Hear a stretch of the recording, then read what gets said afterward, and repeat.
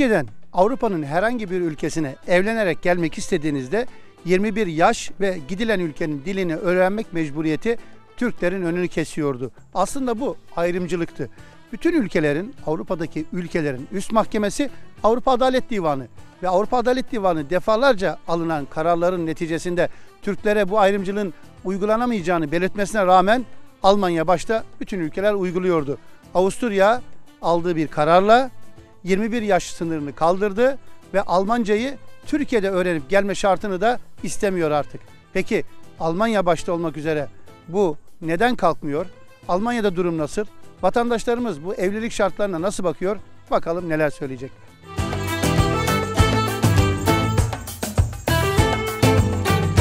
Peki nasıl kalkar sence? Almanya nasıl kaldırır? Normalde Avrupa Adalet Divanı en üst mahkeme. Uymaları mecburi. Daha üst merci yok. Uymak zorundalar. Ama uygulamıyorlar. Sence bu neden? Siyasi mi, politik mi? Bizimkiler bir şey yapamıyor mu? Ee, bu biraz siyasi de var. Doğru. O konuda siyasi de var. Bir de burada bizim Türklerin de yani çok bu konuda biraz zayıf davranıyorlar yani. Devlet olarak da. Devlet olarak zayıf davran- davranıyorlar. Bir de bu yani normal değil yani artık yeter bu Türkiye'nin bizim Türklerin yaptığı çektiği işkence yani çok yani Artık yeter. Devlet yeter sahip artık. çıksın. devlet sahip çıksın doğru ya. Doğrusu bu yani. En üst mahkeme kararı Avrupa Adalet Divanı. Buna uymak zorundalar. Uymuyorlar. Neden uymuyorlar ve bunu bizim devletimiz mi sahip çıksın? Yani neden uymuyor? Bizim devletimiz sahip çıkacak bize kalkıp da bir başkası sahip çıkacak değildir. Anca böyle kalk. Evet. Yani bizim devletimiz bize sahip çıkmadığı sürece hiç kimse sahip çıkamaz bize. Dolayısıyla yaş da devam eder, dil de devam eder. Yani öyle. Çünkü bir Alman bir Almanya'da evlenirse veya bir Fransızla veya bir İngiltereliyle veya bir İngilizle evlenirse bu kanun hiç sorun değil. Çünkü onları bağlamıyor.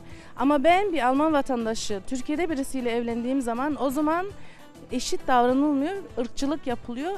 Devlet kendi halkına sahip çıksa tabii ki çok iyi.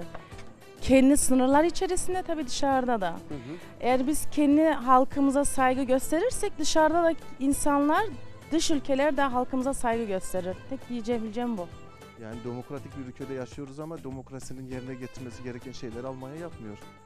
Peki nasıl yaptıracağız bunu? Yani millet bak evlenecek evlenemiyor, birleşecek birleşemiyor. Dili ille diyor. Yani diktatörlük gibi bir şey. Git ülkende öğren. Acaba başka şey mi var arkasında? Yani buna yani Almanya'nın bütün kentlerinde Türkler toplanıp beraber bir protesto, protesto yapmaları lazım yani. Sivil haklarımızı kullanacağız. Tabii her şehirde yapılması lazım yani. Devletimize düşen ne? Devlet de Devletimiz de bize gereken desteği verecek yani organize konusunda. Ne bileyim ya halkı yani birleştirecek bir konuda yani bu tepki vermemiz için yani bu konularda bize yardımcı olması lazım yani.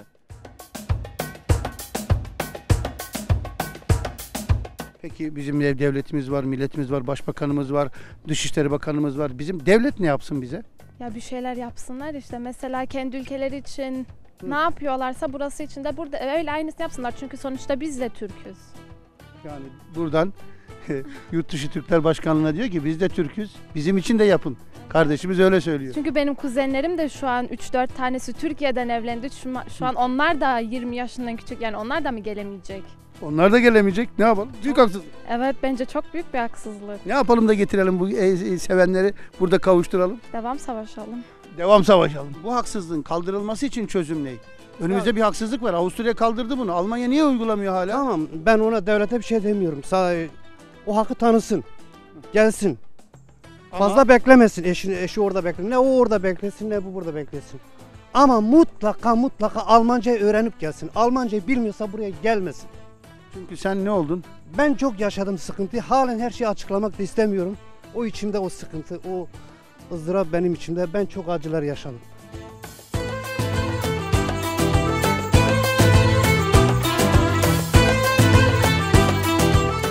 Türkiye'den evlenerek Avrupa'daki bir ülkeye gelmek istediğinizde 21 yaş şartı ve gidilen ülkenin dilini öğrenmek mecburiydi. Bunun için de Avrupa Adalet Divanı mahkemeleri kararları bile dikkate alınmıyordu. Avusturya bunu ilk defa kaldıran ülke oldu. Peki Almanya niye kaldırmıyor, uygulamıyor? Diğer ülkelerin için yapmıyor. Bu konuda vatandaşlarımız ne diyordu? Sorduk.